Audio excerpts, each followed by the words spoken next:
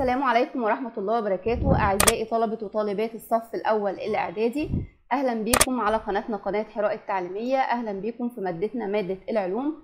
هنستكمل مع بعض درس جديد. إن شاء الله هناخد مع بعض درس في من دروس الوحدة التانية. الوحدة التانية بتتكلم عن الطاقة. هناخد الدرس الأول بيتكلم عن الطاقة مصادرها وصورها. نبدأ إن شاء الله بإذن الله بالمراجعة الجزئية. السؤال عندنا بيقول علل يملأ المستوى L قبل المستوى M. يملأ المستوى L قبل المستوى M. طبعا لأن طاقة المستوى L أقل من طاقة المستوى M وإحنا قلنا الحصة اللي فاتت أو ال- الفيديو اللي فات إن أنا ببتدي أملأ المستويات الأقل في الطاقة ثم أملأ المستويات الأعلى في الطاقة. هنبتدي يا أولاد نتكلم عن الطاقة وإحنا هنمثل الطاقة بالوقود بتاع السيارة. طب إيه الوجه التشابه بين الوقود والطاقة؟ تعالوا بينا كده لما نيجي نتكلم على الوقود داخل السيارة ده بيشبه الغذاء اللي إحنا بنتناوله. الاتنين بينتج عنهم احتراق ومن الاحتراق دوت بينتج طاقة والطاقة ديت اللي بتمكن السيارة من الحركة وكمان بتمكن الإنسان من القيام بالعمليات الحيوية والوظائف والأنشطة اليومية. معنى كده ولاد إن دور الوقود داخل السيارة يشبه دور الغذاء. تمام الله ينور. داخل جسم الإيه؟ الإنسان. وعايزين نركز إن الاثنين يحتووا على طاقة كيميائية. يعني الغذاء والوقود يحتووا على طاقة كيميائية. وبتكون مختزلة داخل جسم الإنسان. نكمل مع بعض. الشغل. إمتى أقول الإنسان استطاع إن هو يبذل شغل؟ قالك إذا أثرت قوة على جسم فتحرك مسافة. يعني عندي ترابيزة زقتها مسافة معينة يبقى أنا كده عندي قوة وفي مسافة تحرك يبقى أنا كده بذلت إيه؟ شغل طبعا. فتحرك الجسم مسافة أو إزاحة معينة في نفس اتجاه تأثير القوة. يقال في هذه الحالة أن هناك شغل قد بذل على هذا مين؟ الجسم. طيب إمتى أقول إن مفيش شغل اتبذل لو أنا بزق الجسم زي مثلا بزق الحيطة طبعا مش هقدر أحرك الحيطة من مكانها بجسمي فبالتالي يقال إن يقال إن الشغل بيساوي صفر بالرغم إن أنا بذلت إيه؟ مجهود. يعني مهم جدا عشان أقول إن الجسم بذل شغل لازم يحصل فيه تغيير في الايه المسافة. زي ما إحنا شايفين يا أولاد الشخص اللي قدامنا دوت هو طبعا هو بيبذل مجهود ولكن هو كده ما بذلش شغل. ليه؟ هو بيزق الحيطة. طب يا ترى الحيطة دي هتتحرك من مكانها؟ لأ. يبقى الشرط التاني اللي هو التغير في المسافة أو الإزاحة مش موجود. عشان كده السؤال بيقول لي علل ال- الشخص الذي يدفع حائطا لا يبذل شغل. ليه بقى؟ هقول له لأن الإزاحة المقطوعة تساوي صفر. تعالوا بينا كده نشوف القانون بتاع الشغل.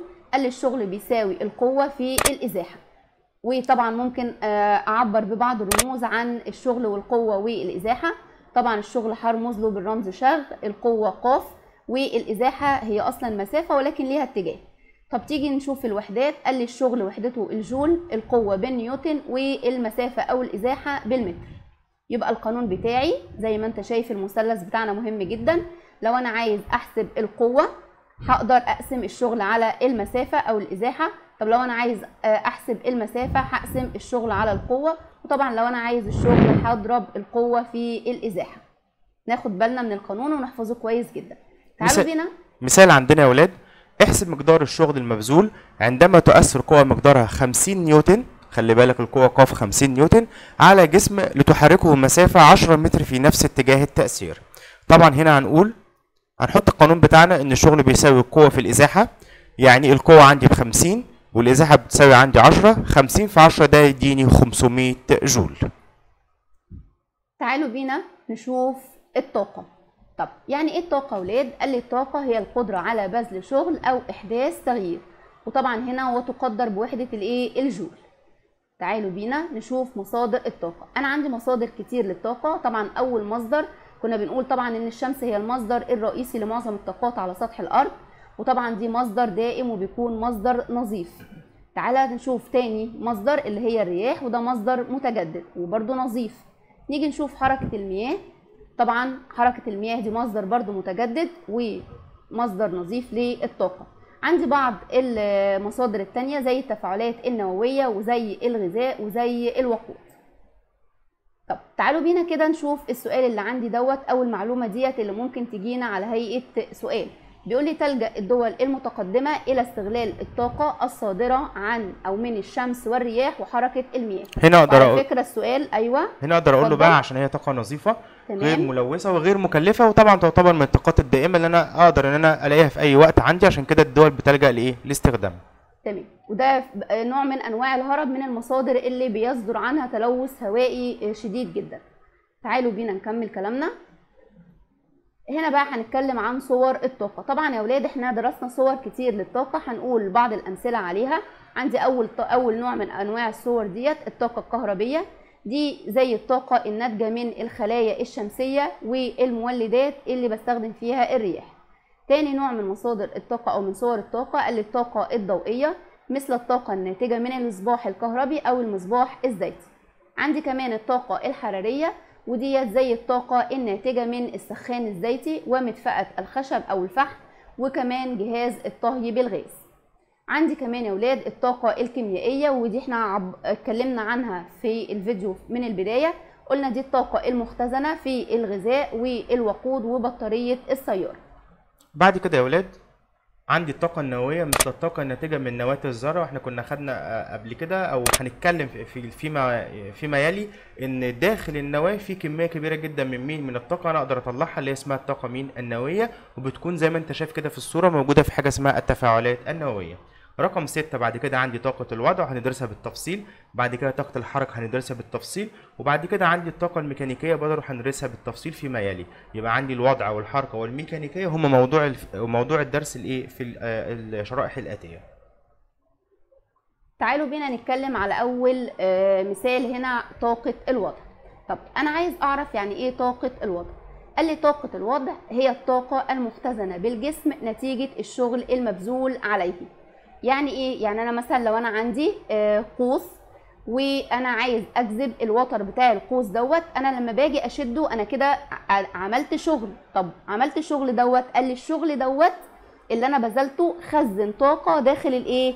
داخل ال- القوس دوت. طب لما أنا هسيبه هيتحول لنوع تاني من أنواع الطاقة. يبقى المثال عندي عند جذب وتر قوس يتم بذل الشغل عليه.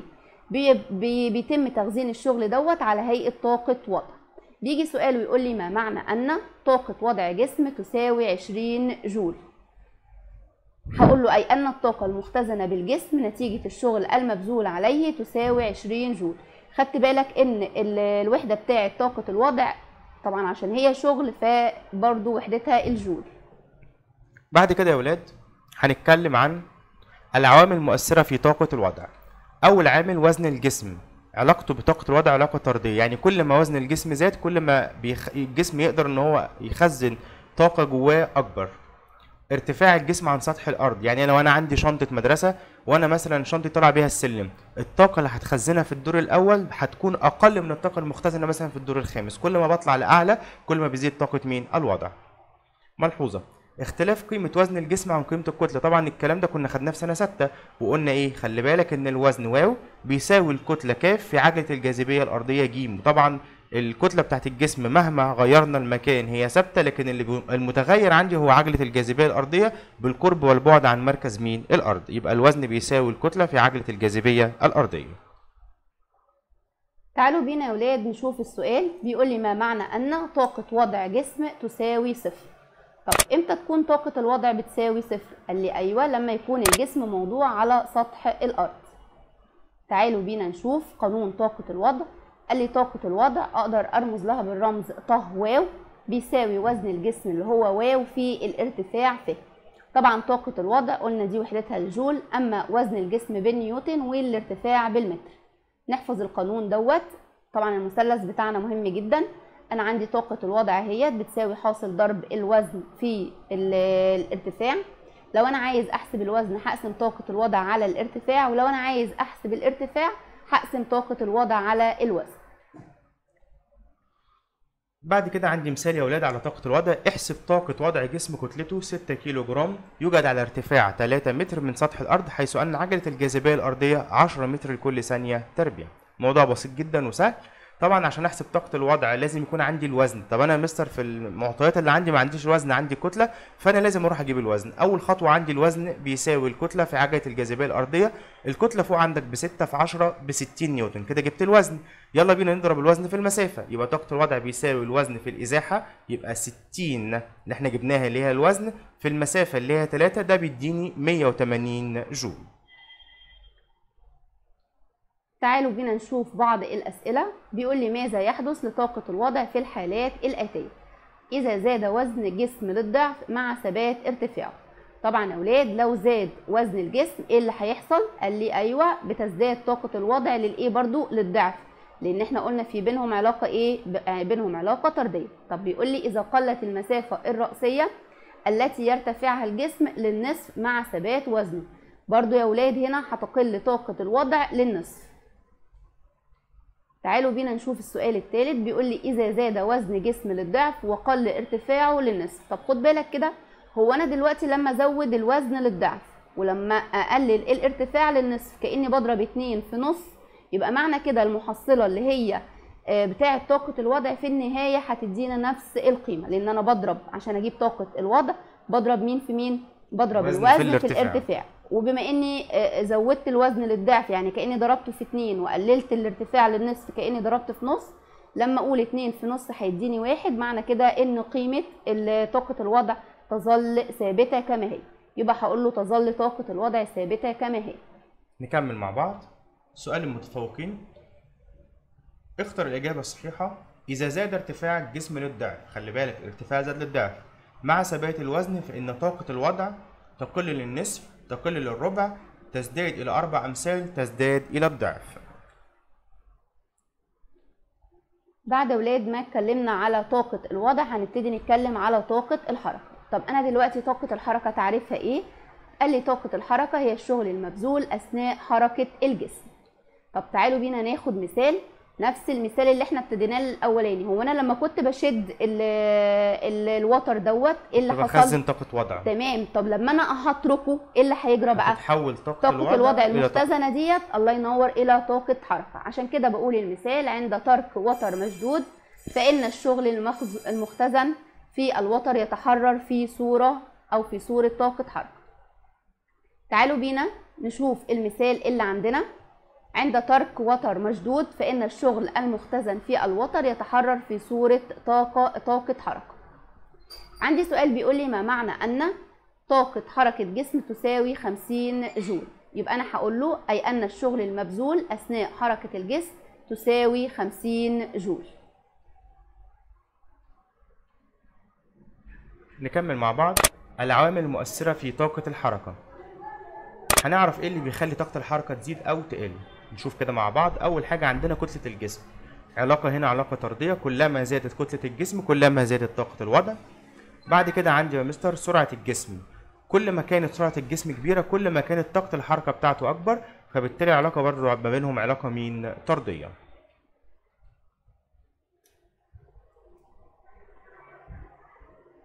طب تعالوا بينا نكتب بقى أو نتعرف على قانون طاقة الحركة قال لي طاقة الحركة اللي هي طه بتساوي نص الكتلة في مربع السرعة. يعني عندي طه بتساوي نص كاف في عين تربيع. طبعا طاقة الحركة عندي بالجول والكتلة عندي بالكيلو جرام وطبعا السرعة يا ولاد بمتر لكل ثانية. لما أقول مربع السرعة يبقى متر لكل ثانية الكل تربيع.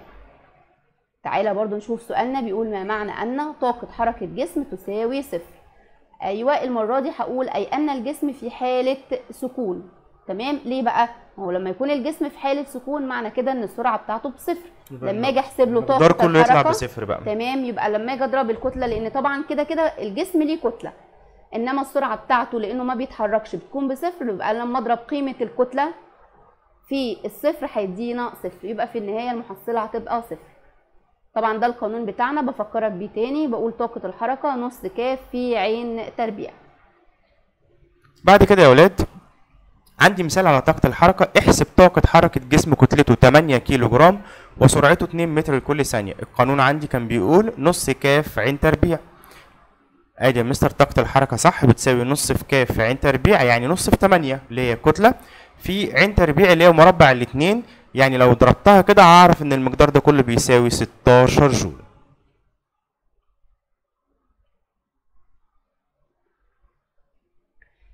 بيقول لي سؤال ماذا يحدث في الحالات الآتية؟ رقم واحد إذا زادت سرعة جسم متحرك للضعف مع ثبات كتلته.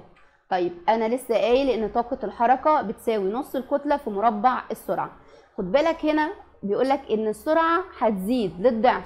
معنى كده إن عين اللي عندي ديت هتبقى 2 عين. طب 2 عين دي لما أربعها هتبقى بكام؟ بأربعة عين تربيع. معنى كده يا ولاد إن طاقة الحركة هتزداد لأربعة أمثال قيمتها. طبعا خدت بالك أنا الأربعة دي جت منين؟ أنا المفروض السرعة بتاعتي كانت عين. هي دلوقتي اتحولت لاتنين عين. طب أنا المفروض إن أنا هربع السرعة. اتنين عين لما أربعها هتبقى أربعة عين تربيع. يبقى معنى كده طاقة الحركة هتبقى أربعة أمثالها أو أربع مرات من قيمتها. تاني سؤال بيقول لي إذا قلت كتلة جسم متحرك للنصف وزادت سرعته للضعف آخد بالي كويس قوي من ماذا يحدث لما يجيب لي أي حاجة بتخص الايه العلاقات الرياضية بين الوحدات ديت أو بين الكميات. طب أنا لما أجي أكتب القانون هقول له طاقة الحركة بتساوي نص الكتلة في مربع السرعة. طب هو بيقول لي إن الكتلة مالها هت إيه هتقل للنصف. هعوض عنها بنص. جميل قوي يعني كأني ضربت نص في نص. يبقى كده أنا عندي ربع. طيب المفروض ان أنا هضرب في كام بقى؟ بيقول لي ان السرعة زادت للضعف لسه حاسبينها يعني هتبقى أربعة عين تربيع. معنى كده يا ولاد ان أنا هضرب ربع في أربعة عين تربيع. يبقى هنا يا ولاد هنقول تزداد طاقة الحركة للضعف. تزداد طاقة الحركة للضعف. الكتلة هتكون بنص والسرعة هتبقى بأربعة اتنين أس اتنين بكام؟ بأربعة يبقى أربعة في نص بكام؟ باتنين يبقى طاقة الحركة هتزداد بمقدار كام؟ الضعف بعد كده يا ولاد ثالثا بقى الطاقة الميكانيكية طيب إحنا كنا اتكلمنا في الجزء الأول عن طاقة الوضع قلنا أنا بخزن شغل طيب بعد كده اتكلمنا عن طاقة الحركة. طاقة الحركة قلنا إن أنا الشغل ده تاني بيتحول لطاقة اسمها طاقة حركة. الاتنين مع بعض يطلق عليهم الطاقة الميكانيكية. يبقى هي مجموع طاقتي الوضع والحركة للجسم. فرضا عندي مثلا جسم طاقة وضعه فرضا 50 وطاقته طاقة حركته مثلا 50 50 و50 يبقى هنا الطاقة الميكانيكية كلها بكام؟ ب 100 طبعا مش شرط يكونوا متساويين مع بعض ممكن تبقى 50 و70 120 وهكذا. نكمل مع بعض.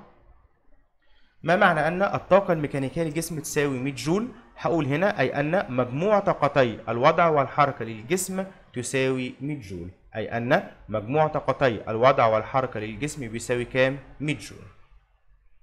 زي ما أنت شايف كده الرسمه اللي عندنا اللي هو دي أدي الوتر المشدود خزنا فيه آه، شغل كده طاقة وضع لما اسيب الوتر يتحرك بحرية هيتحول طاقة الوضع لطاقة إيه؟ حركة. بيقول لي عندي مثال بيقول لي احسب الطاقة الميكانيكية لجسم متحرك إذا علمت أن طاقة وضعه 1000 جول وطاقة حركته 230 جول. طبعا إحنا لسه قايلين إن الطاقة الميكانيكية بتساوي مجموع طاقتي الوضع والحركة طبعا زي ما أنت شايف المسألة جاية مباشرة جدا جايب لي طاقة الوضع وطاقة الحركة. كل اللي هعمله إن أنا أكتب القانون أقول له الطاقة الميكانيكية بتساوي طاقة الوضع زائد طاقة الحركة هجمع 1000 زائد 230 هتديني 1230 جول. قذف شخص كرة كتلتها 5 من 10 كيلو جرام لأعلى. وأثناء مرورها بالنقطة X التي ترتفع 4 متر عن سطح الأرض كانت السرعة 3 متر لكل ثانية تربيع. المطلوب مننا احسب الشغل المبذول على الكرة عند النقطة X حيث أن عجلة الجاذبية الأرضية 10 متر لكل ثانية تربيع. في المسائل اللي شبه كده بنحتاج إن إحنا نرسم زي ما أنت شايف كده واحدة واحدة كده مع بعض. أنت قلت السرعة بتساوي 3 يبقى أنت كده عندك على رسمه عين اهي بتساوي 3 متر لكل ثانية. النقطة إكس هي الدايرة السوداء اللي أنت شايفها دي ارتفاع عن سطح الأرض كام؟ 4 متر. طيب وكتلة الكرة نفسها كام؟ 5 من 10 كيلو جرام عايزين نعرف هنحل إزاي؟ هنبص كده في الشريحة التالية. هرسم رسمه تاني عشان تكون قدامنا. نقول كده مع بعض. أنا محتاج الأول حاجة أجيب الوزن. الوزن بيساوي الكتلة في عجلة الجاذبية الأرضية. يعني الوزن بيساوي 5 من 10 اللي هي كتلة في عجله الجاذبية يعني دي 5 نيوتن. طيب محتاج بعد كده أروح أجيب طاقة الوضع هو الوزن في الارتفاع. طاقة الوضع هتساوي الوزن 5 في الارتفاع اللي وصلت ليه الكرة اللي هو 4 5 في 4 بكام؟ ب 20 جول. بعد كده محتاج أجيب طاقة الحركة. طيب طاقة الحركة قانونها إيه؟ نص في كاف في عين تربيع نص في كاف في عين تربيع. هعوض بعد كده هقول نص كاف بخمسة من عشرة؟ في عين تربيع اللي هو تلاتة تربيع ده كده هيديني اتنين وخمسة وعشرين من مية. واحدة واحدة عشان ما انتهش. انت في الخطوة الأولى اللي هي لونها بأخضر دي قدامك جبت طاقة الوضع بعشرين جول. وفي السطر اللي تحت جبت طاقة الحركة اللي هي باتنين وخمسة وعشرين من مية. كده محتاج إن أنا أجيب الشغل المبذول اللي هو قصده بيه إيه؟ الطاقة الميكانيكية. يبقى لو جالك في الامتحان قال لك احسب الشغل المبذول تفهم كده إن الشغل المبذول هو الطاقة الميكانيكية. طيب الطاقة الميكانيكية هجمع الاثنين مع بعض اللي إحنا جبناها طاقة الوضع وطاقة الحركة. طاقه الوضع كانت ب 20 والحركة ب 2 و25 من 100 يبقى المجموع كله 22 و25 من 100 جول. تعتبر مسألة سهلة جدا هي آه طويلة شوية بس هتعتبر من المسائل السهلة تقدر تشتغل عليها بكل سهولة. نشوف دلوقتي يا ولاد سؤالنا سؤال المتفوقين وسؤالنا بيقول اختر الإجابة الصحيحة. إذا زادت سرعة الجسم للضعف مع ثبات الكتلة فإن طاقة حركته واحد تقل للنصف الجملة الثانية تقل للربع. الجملة الثالثة تزداد إلى أربعة أمثال ولا تزداد للضعف. آه، أتمنى إن أنتوا استفدتوا آه، من مشاهدة الفيديو بتاعنا وأشوفكم إن شاء الله في فيديو جديد آه، مع مادتنا مادة العلوم على قناتنا قناة حراء التعليمية. والسلام عليكم ورحمة الله وبركاته.